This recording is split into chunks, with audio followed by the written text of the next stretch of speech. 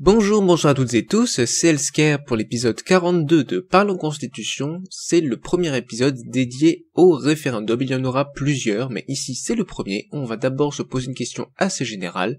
Est-ce que le référendum est en contradiction avec le mandat représentatif?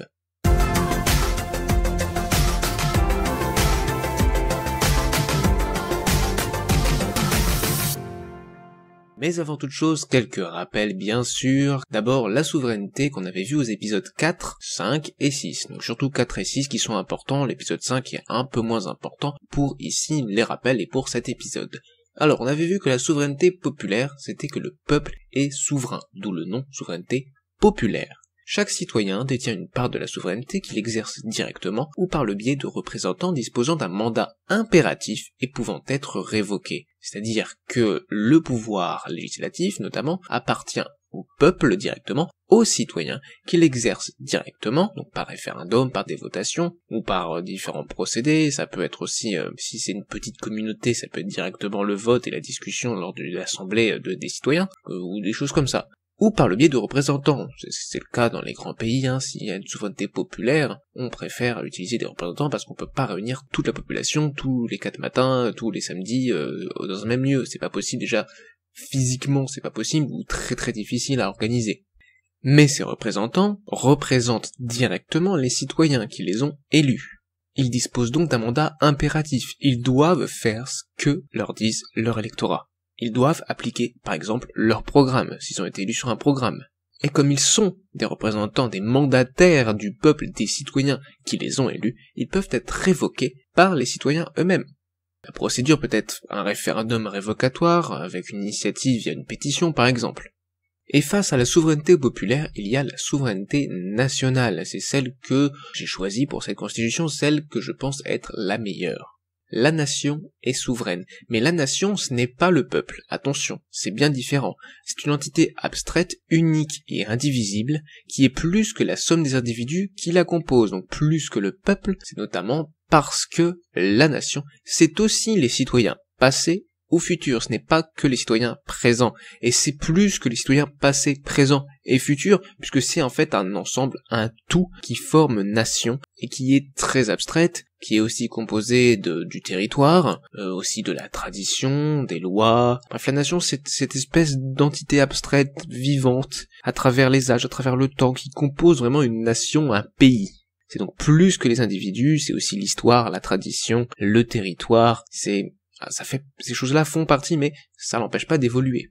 Avec le temps, une, nation évolue. Je précise ça parce que comme j'ai fait référence à la tradition, on pourrait croire que toutes les nations sont forcément traditionnelles, ancrées dans le passé, conservatrices. Non. Par nature, plutôt oui. Pourquoi? Parce que comme toute entité, même abstraite, elle a une volonté de conservation. Enfin, quand je dis volonté, c'est pas vraiment une volonté de façon consciente, mais toute entité a tendance à essayer de se conserver.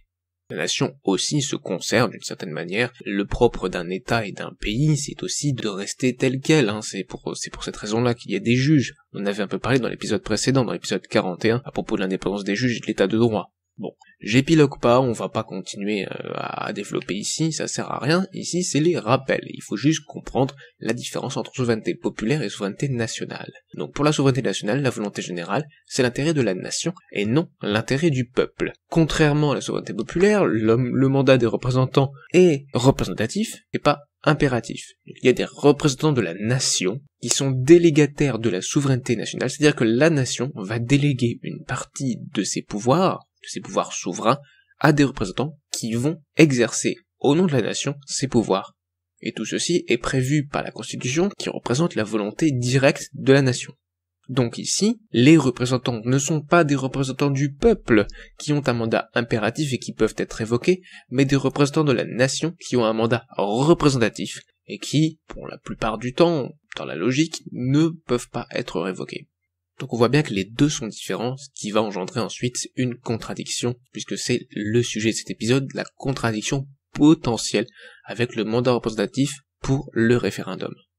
Maintenant parlons un peu plus du référendum dans les rappels, puisqu'on en a déjà parlé en réalité dans cette série avec les différents RIC et RICA qui sont déjà prévus discuter. Alors pour rappel, un RIC, c'est un référendum d'initiative citoyenne, et un RICA, c'est un référendum d'initiative citoyenne active Pourquoi active Parce que c'est uniquement pour les citoyens actifs. Je ne vais pas détailler ce que c'est pour moi des citoyens actifs, puisqu'on l'a bien développé quand on a abordé les questions de citoyenneté.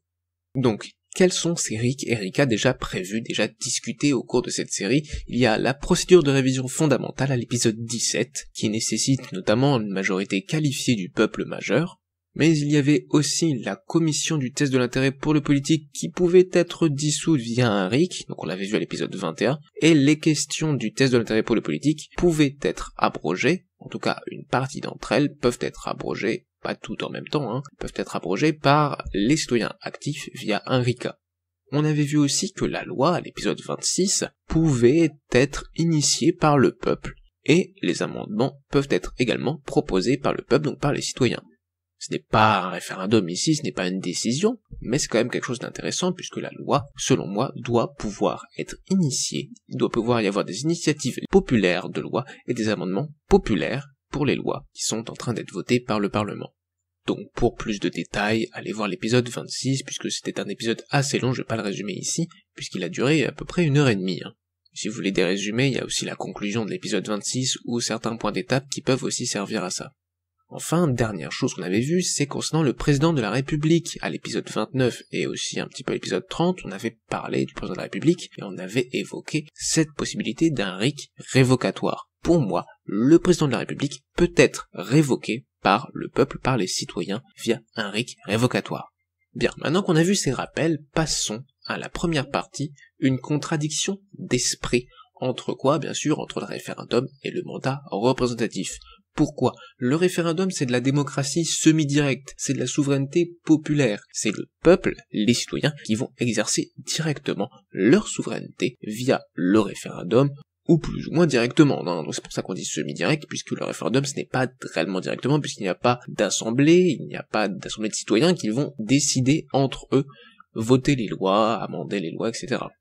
Donc la question qui se pose, c'est est-ce qu'on a alors des députés commissaires du peuple, c'est-à-dire que le peuple, en fait, décident ce qu'ils veulent voir adopter en élisant différentes personnes, en faisant aussi des pétitions, des doléances qu'ils peuvent adresser directement à leurs députés qui, eux, sont chargés d'appliquer les demandes du peuple. Cette idée de référendum, c'est aussi ça, c'est l'idée que les députés ensuite vont devoir, le pouvoir en place va devoir acter, va devoir prendre la décision, faire en sorte que la décision prise plutôt par référendum soit effective, s'applique bien. C'est donc en opposition d'esprit avec le mandat représentatif des parlementaires. C'est notamment le cas actuellement en France dans la 5 République, les parlementaires ont un mandat représentatif, c'est comme ça qu'est pensée la démocratie représentative, la démocratie parlementaire bien sûr. C'est cette idée de souveraineté nationale. Les députés, les parlementaires en général sont représentants de la nation et non du peuple directement.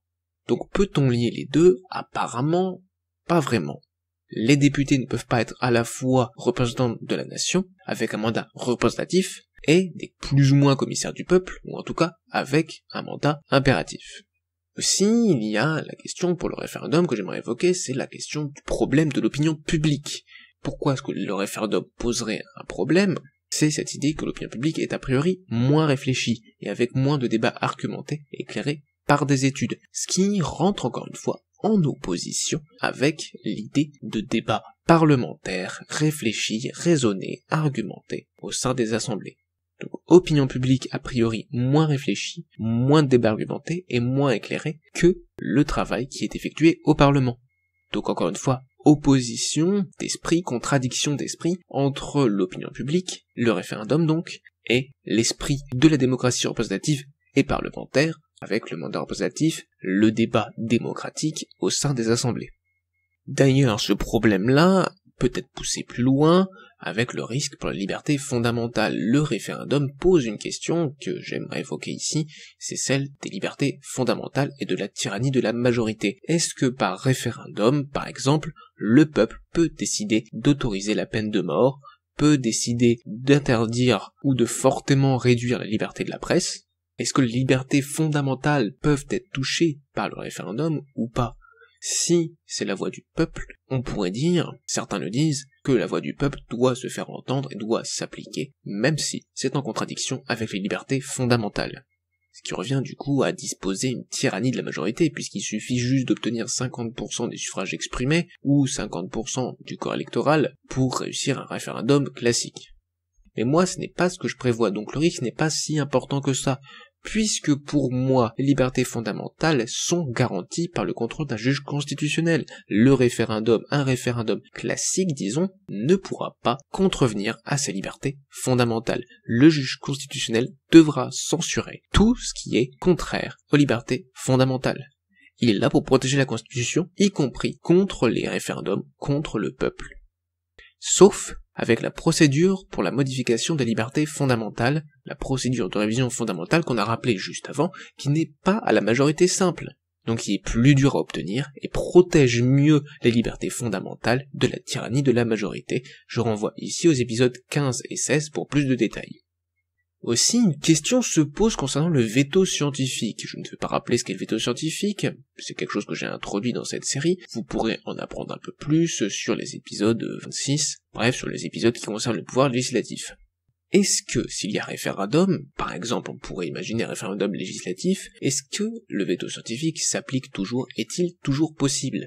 Si on n'imagine pas de référendum législatif, est-ce que le veto scientifique est toujours possible sur les initiatives de loi qui sont populaires, ou sur les amendements populaires, initiatives citoyennes si on veut Eh bien pour moi, oui. Oui, c'est toujours possible. Le veto scientifique concerne les lois sur lesquelles le conseil scientifique peut déjà le mettre, peu importe qu'il y ait référendum ou non. Peu importe que ce soit voté par des députés, des parlementaires, des représentants, ou par le peuple, par les citoyens directement. Et ça, ça se comprend, on y reviendra un peu plus tard sur ma vision, en fait, du référendum, et ce lien, en fait, cette conciliation qui pourrait être faite entre le référendum et l'idée de souveraineté nationale. Mais on y reviendra donc, soyez patients. La Cinquième République a essayé de lier les deux. D'abord, il est noté à l'article 3, paragraphe 1, que la souveraineté nationale appartient au peuple qui l'exerce par ses représentants et par la voie du référendum. On voit très bien ici que la souveraineté nationale est a priori la règle, mais on a voulu mélanger la souveraineté nationale et la souveraineté populaire, puisque la souveraineté nationale ici, elle appartient pas vraiment à la nation, elle appartient en fait au peuple qu'il exerce comment? Par ses représentants. Donc on a ici voilà de la démocratie représentative, on a ici la souveraineté nationale, du mandat représentatif, mais aussi par la voie du référendum, donc de la démocratie semi-directe, de la souveraineté populaire, plutôt l'idée de mandat impératif, quelque chose qui permettrait en fait au peuple aussi de s'exprimer directement et de décider directement. Donc il y a cette espèce de combinaison des deux qui a essayé d'être faite en principe entre la souveraineté nationale, la souveraineté populaire, entre le mandat représentatif et le référendum. Et on voit quand même qu'on a voulu donner une prédominance nationale, que les représentants restent des représentants de la nation avec un mandat représentatif, puisque c'est marqué à l'article 27, paragraphe 1, que tout mandat impératif est nul. Donc le peuple peut s'exprimer par la voie du référendum, et aussi par ses représentants, mais les représentants n'ont pas de mandat impératif, donc ne sont pas commissaires du peuple. Voilà, c'est cette contradiction qui a essayé d'être résolue en liant les deux, en mélangeant les deux. Et on s'est dit, ça pose pas trop de problèmes. Alors oui et non. En soi, la, la, la République fonctionne. Elle a fonctionné, elle fonctionne toujours. Plus ou moins, il y a des défauts, hein, bien évidemment. Sinon, je ne proposerais pas cette constitution. Je ne ferais pas parler en constitution si je trouvais que la Cinquième République est complètement, euh, voilà, parfaite et qu'il n'y a rien à revoir, il n'y a rien à changer, j'ai rien, aucune proposition d'amélioration, de choses que moi je pense être meilleures. Ou alors par la constitution, ce serait une série de droits constitutionnels, où je ne ferais qu'exprimer ce qui existe déjà ce qui n'est pas le cas puisque par la Constitution, c'est une série dans laquelle je présente ma vision politique dans le domaine constitutionnel, je le rappelle. Donc maintenant qu'on a vu qu'il y avait une contradiction d'esprit entre les deux, et qu'on a vu que la schéma public essaie de lier les deux, donc de résoudre cette contradiction. Comment est-ce que ça se passe en pratique? Pour quelle réussite en pratique? C'est ce qu'on va voir à présent. En fait, il y a aussi une contradiction dans la pratique, puisque avec cette cinquième république, on observe en fait un pouvoir législatif divisé. Et je vais vous expliquer pourquoi, mais avant, on va voir qu'en pratique, les référendums sont, entre guillemets, incomplets dans la Constitution. Comme on a voulu lier les deux, la souveraineté nationale et la souveraineté populaire, le mandat représentatif et le référendum, on n'a pas prévu de référendum complet. Quand je dis complet, je parle de référendum avec une initiative populaire qui puisse se faire plutôt facilement et qui ensuite conduit à une décision populaire effective, c'est-à-dire que le peuple va demander un référendum, va ensuite voter lors du référendum qui sera organisé et la décision qui a été prise par référendum, c'est-à-dire le oui ou le non le plus souvent qui va l'emporter, va ensuite être appliquée par les autorités publiques. Donc qu'est-ce qu'on observe dans la 5 République? Dans la 5 République, on n'observe pas vraiment ça. L'article 11, par exemple, prévoit quand même un référendum législatif. C'est très bien, sauf que l'initiative est pas populaire, n'est pas populaire, n'est pas citoyenne, c'est une initiative du président de la République, s'il le veut bien sûr, sur proposition du gouvernement ou du Parlement. C'est-à-dire que le Parlement ou le gouvernement va demander au président de la République de faire un référendum législatif. Le président de la République va dire oui ou non, va pouvoir euh, faire ce référendum législatif ou pas. Il faut qu'il y ait les deux. La proposition du gouvernement ou du Parlement, s'il n'y en a pas, le président de la République ne peut pas décider qu'il y aura un référendum législatif, et s'il n'y a pas la proposition, le président de la République refuse, alors il n'y aura pas de référendum législatif. Mais l'article 11 prévoit autre chose, prévoit aussi une initiative parlementaire, donc ça c'est un peu mieux, c'est un cinquième des parlementaires, c'est déjà beaucoup, et surtout c'est une initiative populaire aussi, donc c'est parlementaire et populaire, il faut réunir un cinquième des parlementaires et 10% des électeurs. Cette deuxième initiative n'a jamais abouti, il y a toujours eu un problème, soit du côté des parlementaires, pas assez de parlementaires, soit du côté des électeurs, il n'y a pas eu assez d'électeurs, et c'est le plus souvent le cas, puisque 10% des électeurs, on pourrait dire que ça fait 10% de la population française, en tout cas 10% des adultes en France qui qui sont citoyens. 10% des citoyens, c'est beaucoup. C'est beaucoup à l'échelle d'un pays. Et les Français ne sont pas assez rapides pour parler politique, pour décider politique, ne parlent pas assez politique, sont pas assez politisés, ne font pas assez de politique pour que ce soit facile d'atteindre ces 10%. Et en plus de ça, ce que je n'ai pas mis ici, c'est que cette initiative est limitée dans le temps. C'est-à-dire que l'obtention des signatures d'un cinquième des parlementaires et de 10% des électeurs est limitée dans le temps. Je ne sais plus exactement combien de temps, mais au bout d'un certain temps, ce n'est plus valide. S'il faut 15 ans pour obtenir la signature d'un cinquième des parlementaires ou de 10% des électeurs, ça ne marche pas. Et aucun référendum à ce jour n'a pu voir le jour grâce à cette initiative parlementaire et populaire. On voit bien ici que le référendum est incomplet parce que son initiative n'est pas populaire. Ce n'est pas le peuple qui décide de décider. C'est les parlementaires ou le gouvernement, avec une partie du peuple, ou le président de la République, enfin bref, vous voyez très bien, qui vont ensuite demander au peuple de se prononcer. Il y a ensuite la révision constitutionnelle prévue à l'article 89, où c'est très bien, le peuple peut réviser la constitution. Sauf que, en fait, ce n'est pas le cas le plus fréquent, puisque l'initiative appartient au Premier ministre et au Président de la République, ou au Parlement pour une révision constitutionnelle. Donc tout d'abord, ça ne commence pas par le peuple. Mais en plus de ça, il y a besoin d'une adoption ensuite par l'Assemblée nationale et le Sénat du texte. Une fois le texte adopté à l'identique, il pourra y avoir référendum mais il peut ne pas y avoir référendum si le président de la République le décide, et décide quoi que le Parlement se réunisse en congrès, donc l'Assemblée nationale et le Sénat ensemble dans une même chambre, dans une même assemblée, et adopte la proposition de révision constitutionnelle au 3 cinquièmes des suffrages exprimés. Donc là, avec cette révision constitutionnelle, on peut passer au-dessus du peuple et ne pas faire le référendum. Donc c'est encore plus incomplet que le référendum législatif prévu à l'article 11. Il y a aussi d'autres référendums qui sont prévus. L'article 72-1 prévoit des référendums locaux, à l'initiative, non pas du peuple bien sûr, mais des collectivités territoriales. L'article 72-1 prévoit aussi d'autres consultations, mais qui là n'engagent pas les collectivités territoriales. C'est-à-dire que les référendums, ces consultations, ne sont pas décisoires. La décision qui est prise, le résultat du référendum, ne va pas conduire ensuite à l'application de ce résultat. Mais il y a quand même des référendums locaux qui sont prévus et qui eux sont décisoires, à condition qu'un certain nombre d'électeurs se déplacent, évidemment il faut toujours des conditions, et bien sûr ce n'est pas l'initiative du peuple, mais des collectivités territoriales.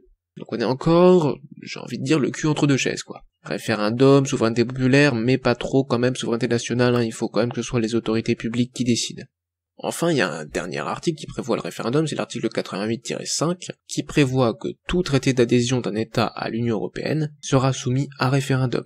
Sauf que la décision de ce référendum peut être contournée. C'est-à-dire que s'il y a un non, pas s'il y a un oui, s'il y a un non, s'il y a un refus d'adhésion, le Parlement peut quand même autoriser l'adhésion à la majorité des trois cinquièmes.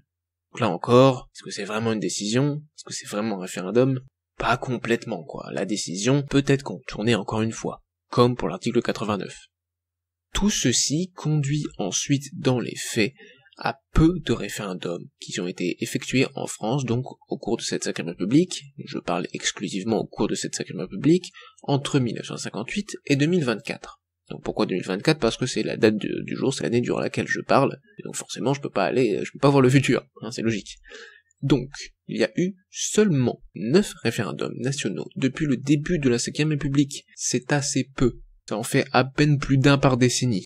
Et par contre, il y a des référendums locaux qui ont été faits, et il y en a assez souvent. Il y a plus de collectivités territoriales, il y a forcément plus de référendums locaux qu'il n'y a de, référendums nationaux, puisqu'il n'y a qu'un seul, qu'une seule nation, hein, ici forcément, c'est logique. Mais les taux de participation sont plutôt bas ou moyens. C'est rarement au-dessus de 60%. On en a beaucoup qui ont du mal à dépasser les 30-40%. Ça dépend des sujets, ça dépend des collectivités territoriales, ça dépend des circonstances, mais le taux de participation est rarement, très rarement supérieur à 60%. Et concernant les référendums nationaux, le dernier est assez vieux, en fait. Il a presque 20 ans, le dernier. Le dernier référendum national, c'était le 29 mai 2005, pour la ratification du traité établissant une constitution pour l'Europe, appelé aussi TECE, e, pour faire plus court, où il y a eu 54,60% de suffrages exprimés qui étaient des non. Donc le peuple a dit non par référendum. Mais ce référendum national a eu un impact assez négatif et ça peut expliquer pourquoi est-ce que depuis les autorités politiques n'ont pas décidé d'en refaire. Et il y a plutôt eu de la méfiance et peu d'envie pour le gouvernement, pour le président et aussi en partie pour le parlement de faire de nouveau des référendums nationaux. Alors qu'est-ce qui s'est passé? Il y a bien eu un non, et le traité établissant une constitution pour l'Europe n'a pas pu être ratifié, et le projet a été abandonné au niveau européen mais pas complètement en fait. Il a été repris le projet, mais d'une façon différente pour plus ou moins hein, tirer des conséquences supposées de ce refus par différents pays, par différents peuples. C'est le cas de la France, euh, les Pays-Bas et pas la majorité, mais il suffit qu'il y en ait quelques-uns qui s'y opposent pour que le traité établissant une constitution pour l'Europe aille à la poubelle, et c'est ce qui s'est passé, sauf qu'il a été repris le traité de Lisbonne, une bonne partie de ce qui était prévu dans le traité établissant une constitution pour l'Europe a été ensuite mis dans le traité de Lisbonne. Et le traité de Lisbonne a été signé par la France, et donc adopté sans référendum en 2007. D'où la confiance des Français envers le référendum qui a été ébranlée.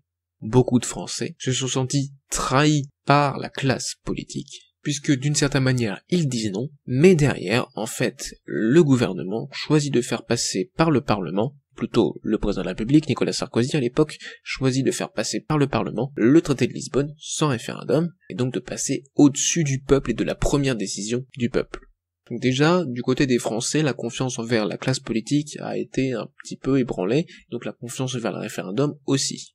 Et du côté de la classe politique, il y a aussi eu une peur du référendum, pourquoi Notamment car la classe politique était en majorité pour le oui, et car ce non a été vu comme un rejet des élites et de l'Union européenne.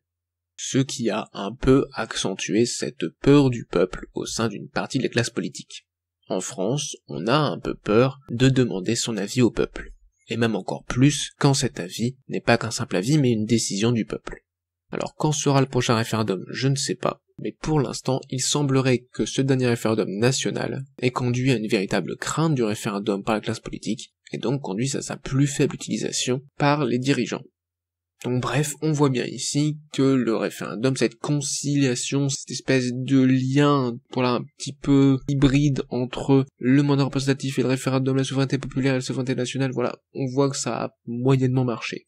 Et ça, c'est dans les faits. Mais dans la théorie aussi, je vais vous montrer que c'est un peu bancal, cette, euh, cette union des deux. Pourquoi? Car tout ceci a pour conséquence dans la Cinquième République la division du pouvoir législatif qui appartient à la fois au Parlement et au peuple. Si on peut passer des lois par le Parlement mais qu'en même temps le peuple est plus souverain parce qu'il détient la souveraineté nationale et que donc il peut s'exprimer par référendum et outrepasser le Parlement.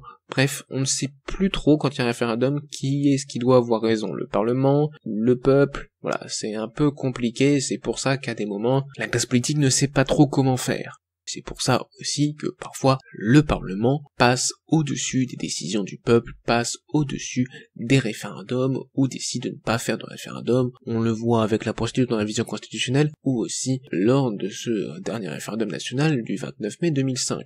Même si dans les autres référendums nationaux, les décisions du peuple ont été mises en pratique et avoir un législateur qui est à la fois le Parlement et le peuple, c'est assez étrange, et ça pose des questions de mise en pratique, ça pose des questions lorsqu'il y a référendum, et que le Parlement n'est pas d'accord avec le peuple. Qui est-ce qui doit avoir raison, le peuple, le Parlement?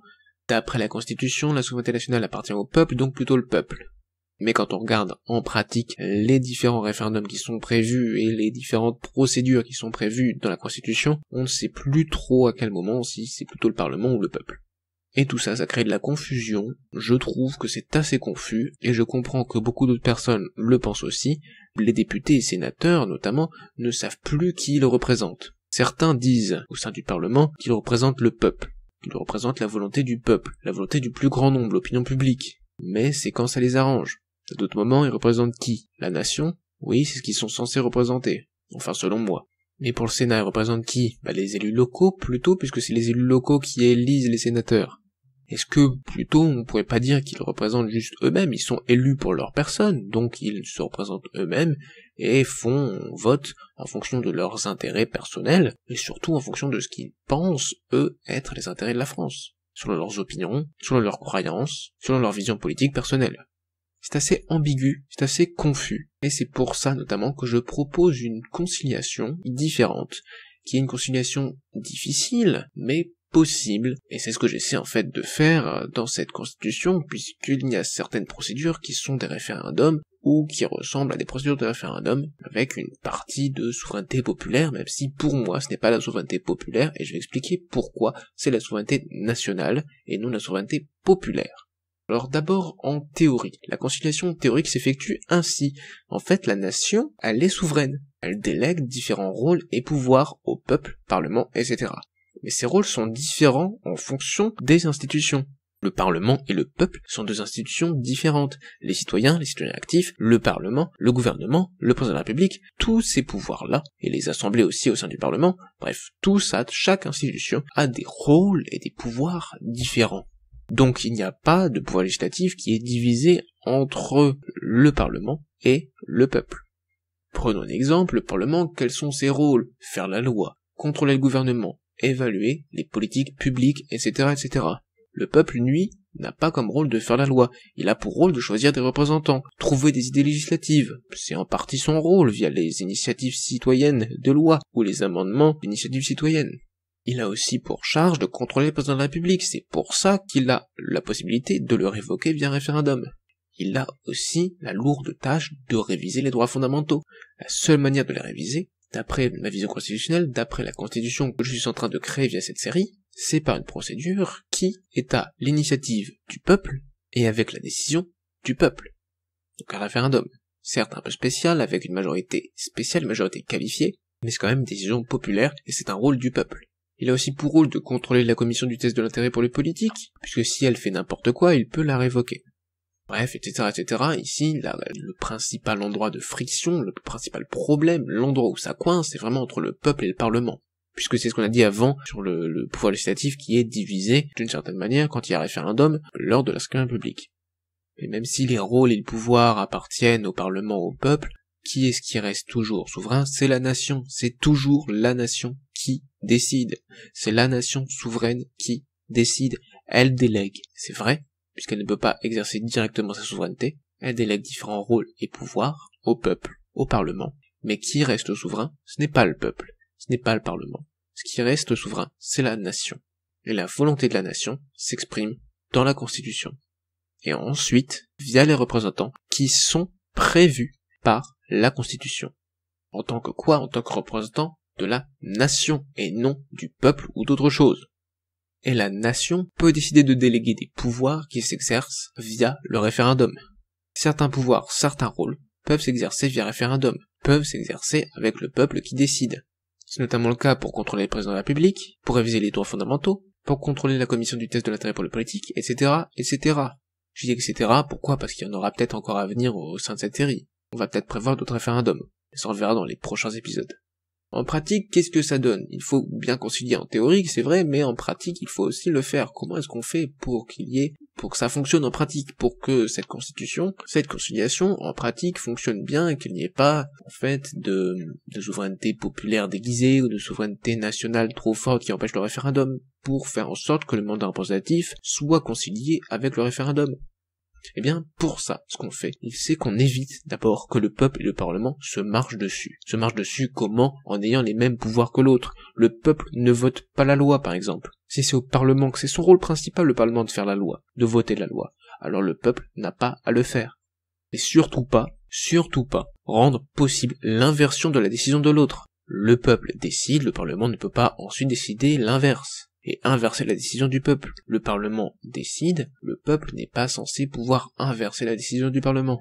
Aussi, il faut éviter des référendums qui ne lient pas, c'est-à-dire des référendums non contraignants, non décisoires. Pourquoi? Parce que ça réduit la confiance du peuple, la confiance des citoyens envers le référendum et envers les élites politiques, la constitution, les institutions. Donc ça nuit fortement à cette conciliation et à cette bonne compréhension aussi de la constitution. S'il y a des référendums qui ne lient pas, qui sont non contraignants ou non décisoires, on les appelle des consultations.